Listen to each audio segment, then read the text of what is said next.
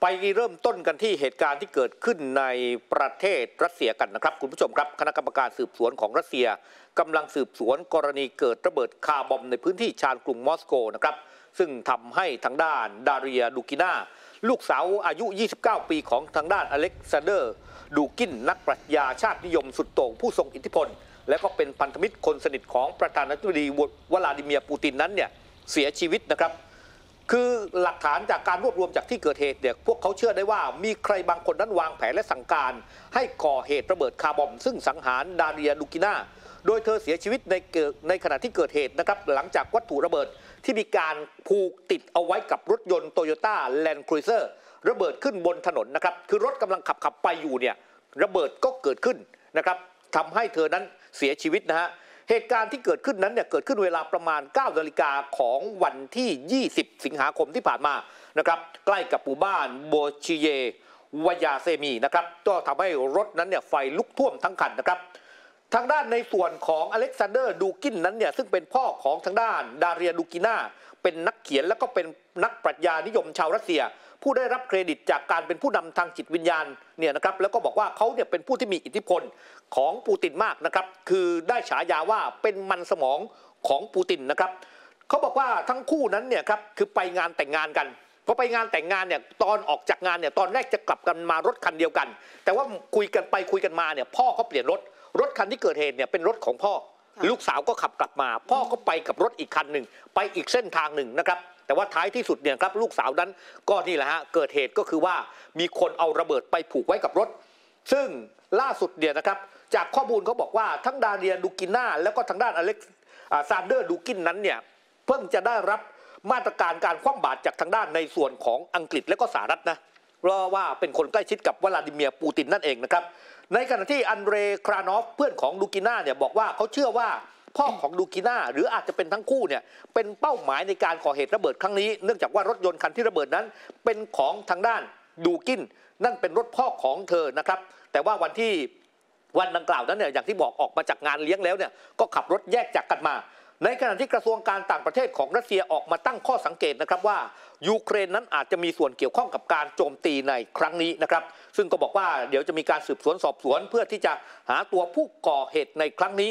ในขณะที่ทางด้านมาเรียซาคาโรวาโฆษกกระทรวงการต่างประเทศเนี่ยก็ออกมาระบุผ่านเทเลแกรมเนี่ยครับว่าจะต้องมีการคุยกันเรื่องนโยบาย รัฐก่อการร้ายที่รัฐบาลยูเครนนั้นกำลังใช้อยู่ด้วย ขณะที่ทางการยูเครนนั้นปฏิเสธว่าไม่มีส่วนเกี่ยวข้องกับเหตุการณ์ดังกล่าวครับ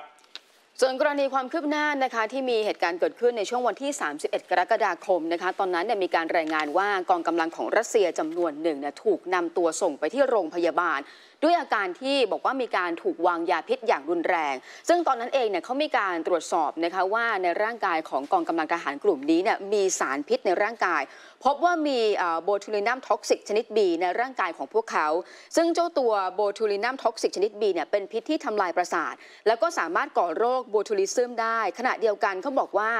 ที่ผ่านมาเนี่ยมันอาจจะไปปนเปื้อนกับเรื่องของอาหาร หรือว่าที่ผ่านมาก็จะมีการใช้ทางการแพทย์ด้วยนะคะ ซึ่งประเด็นเรื่องนี้แหละค่ะกระทรวงกลาโหมของรัสเซีย มีการกล่าวหาว่ายูเครนเนี่ยมีการวางยาพิษทหารของพวกเขาบางส่วนในซาปอริเซีย ขณะเดียวกันตอนนี้มีการเตรียมหลักฐานให้กับองค์การห้ามอาวุธเคมีเร็วๆนี้ด้วยนะคะ แม้ว่าในถ้อยแถลงเนี่ยจะไม่ได้ระบุว่ามีทหารจำนวนเท่าไหร่ ที่ถูกวางยาพิษ หรือว่าอาการเหล่านั้นตอนนี้เป็นอย่างไรบ้าง แต่ก็บอกแน่นอนว่าสิ่งที่ค้นพบนั้นก็จะมีการส่งต่อให้กับองค์การห้ามอาวุธเคมีต่อไป แล้วก็อยู่ระหว่างการสืบสวนสอบสวน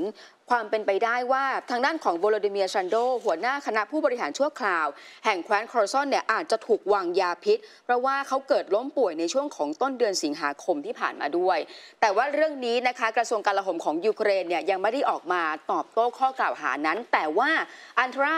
อันตอนเกราเชนโกที่ปรึกษากระทรวงมหาดไทยเนี่ยมีการโพสต์ข้อความผ่านเทเลแกรมแล้วบอกว่าสิ่งที่กระทรวงกลาโหมรัสเซียพูดเนี่ย ไม่ได้พูดชัดเจนว่ายาพิษ หรือว่าตัวพิษเนี่ยอาจจะมีต้นตอมาจากทางด้านของยูเครน คือเขาไปมองว่า เอ๊ะหรือมันจะไปอยู่ในอาหาร เนื้อกระป๋องที่มันหมดอายุหรือเปล่า เพราะว่าบ่อยครั้งมากที่จะมีการพบสารพิษตัวนี้อยู่ในเนื้อกระป๋อง ขณะเดียวกันเนี่ยเขาก็บอกว่าที่ผ่านมาเองทั้งกองทัพของรัสเซียเองก็พูดตลอดว่ากองกำลังของยูเครนเนี่ยมีการวางยาพิษก่อการร้ายให้กับทางด้านของรัสเซียด้วยค่ะ ครับ ทีนี้มาดูสถานการณ์ที่เกิดขึ้นในยูเครนนะครับ ล่าสุดนั้นเนี่ยก็ต้องบอกว่าในเมืองนิโคโปลนั้นเนี่ยก็ถูกทางด้านในส่วนของกองทัพรัสเซีย ใช้ปืนใหญ่เนี่ยครับยิงเข้าถล่มต่อเนื่องในวันเสาร์วันอาทิตย์ที่ผ่านมา ซึ่งเมืองนิโคโปลนั้นอยู่ตรงข้ามแม่น้ำดนิโปร กับเมืองซาปอริซเซีย ซึ่งเป็นที่ตั้งของโรงไฟฟ้าพลังงานนิวเคลียร์ใหญ่ที่สุดของยูเครน แล้วก็ของยุโรปในขณะที่โรงไฟฟ้าแห่งนี้ อยู่ภายใต้การควบคุมของกองกำลังรัสเซียเนี่ยมาตั้งแต่เดือนมีนาคมนะครับซึ่งทางด้านวาเลนตินเรสนิเซนโกผู้ว่าการแคว้นเนี่ยครับก็ออกมาเปิดเผยว่า นิโคโปรนั้นถูกปืนใหญ่โจมตี 5 ครั้งตลอด ช่วงคืนวันเสาร์ที่ผ่านมาพร้อมเปิดเผยเนี่ยครับมีว่ามีปืนใหญ่ 25 ลูก พุ่งตกในเมืองก่อนที่จะก่อให้เกิดไฟไหม้ในสถานที่อุตสาหกรรมโรงงานอุตสาหกรรมแห่งหนึ่ง และก่อให้ไฟฟ้าดับเดี๋ยวส่งผลกระทบต่อประชาชนราว 3,000 คนนะครับ ในขณะที่ซาปอริซเซียนะครับก็มีเหตุยิงขีปนาวุธโจมตีนะครับโดยเฉพาะในเมืองวอซเนเซนสก์ทางภาคใต้ของยูเครน เมื่อวันเสาร์ที่ 20 สิงหาคมที่ผ่านมา ซึ่งอยู่ไม่ไกลจากโรงงานปรมาณูใหญ่ที่สุดอันดับ 2 ของยูเครนโหมกระพือความอ่าเป็นห่วงนะครับว่าจะเกี่ยวเนื่องเกี่ยวข้องกับอุบัติเหตุทางนิวเคลียร์ครั้งใหญ่เกิดขึ้นก็ได้ ในขณะที่แคว้นโอเดสซานะครับในส่วนของแคว้นโอเดสซานั้นเนี่ยโฆษกองค์การบริหารแคว้นนั้นก็ออกมาบอกนะครับว่ากองบัญชาการยุทธบริเวณใต้เปิดเผยว่ามีขีปนาวุธร่อนคาลิเบอร์ของรัสเซียเนี่ยอย่างน้อย 5 ลูก ถูกยิงออกมาจากทะเลดำนะครับโดย 2 ลูกในนั้นเนี่ยถูกระบบป้องกันภัยทางอากาศของยูเครนสกัดเอาไว้ได้ ส่วนอีก 3 ลูกเนี่ยครับพุ่งใส่เป้าหมายด้านการเกษตร แต่ว่าไม่มีผู้ได้รับบาดเจ็บหรือเสียชีวิต ในขณะที่ทางด้านรัสเซียนั้นออกมาระบุเมื่อวานนี้ครับว่าขีปนาวุธที่พวกเขายิงจากทะเลดำนั้นเนี่ยเข้าสู่เป้าหมายทำลายคลังกระสุนที่ใช้เก็บจรวดไฮมาร์สที่ผลิตโดยสหรัฐอเมริกา แล้วก็ส่งมาให้ทางด้านในส่วนของยูเครนเนี่ยครับแต่ว่าฟากฝั่งยูเครนนั้นออกมาบอกว่าความเสียหายที่เกิดขึ้นนั้นเนี่ยไม่ได้เป็นคลังอาวุธ แต่ว่าเป็นแค่ยุ้งฉางในการเก็บธัญพืชเท่านั้นเองครับ